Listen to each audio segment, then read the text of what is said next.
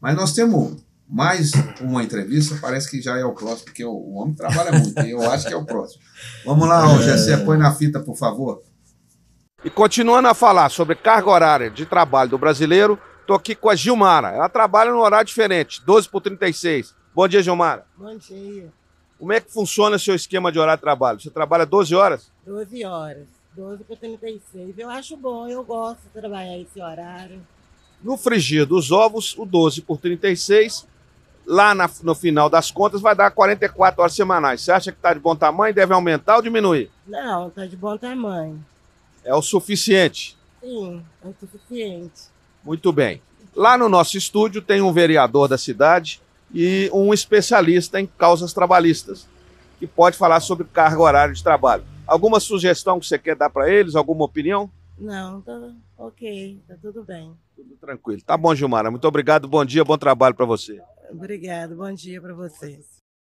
É, o, o, o, trabalhador de 100 horas vai vir depois. Mas eu vou começar pelo Summer agora. O Summer, é, esse trabalhador principalmente da área de saúde, que trabalha de 12 por 36. Sistema de revezamento. No né? frigir dos ovos, dá as 44 horas semanais, não tem como fugir, né? Sim, na, na, na, verdade, salvo engano, nós temos aqui uma variação que ela, ela é benéfica numa semana, um pouquinho mais, e talvez numa outra semana, porque ele trabalha quatro dias e três dias numa situação como essa. O sistema de, de 12 por 36 é muito utilizado justamente nesse sistema de, de limpezas, saúde. Eu até é, acho um pouco delicado, porque no setor de saúde, na maioria das vezes, esses trabalhadores têm dois empregos. Então, em geral, é, não é muito fácil. E também a própria adaptação do. do não, é uma, não é muito simples, viu, Zé? Você trabalhar à noite 12 horas, eu tenho relatos que, principalmente não é muito. É, até você adaptar e etc. Principalmente na jornada que muda na Vale, né, Claudinha? Talvez possa nos, nos dar um, um, relato mais preciso, que você trabalha uma semana de uma letra, na outra semana em outra, então não é muito simples, não. Né? Mas é, é uma sistemática né, que previsível, principalmente pela Convenção Coletiva de Trabalho desses trabalhadores, né? Eu, em geral, eu discuto, inclusive, a necessidade da remuneração da, da, das, da nona, décima e décima primeira e décima segunda jornada, porque eu acho que ela deveria ter um adicional, na minha opinião. Mas é uma postura mais que eu acho que seria pró-trabalhador, né? Tudo bem, Samer. E aproveitando a sua carona, eu já vou direto para o Claudinho. Claudinho, essa questão do trabalhador que trabalha noturno, né? O cara que pega a madrugada, como é que funciona isso?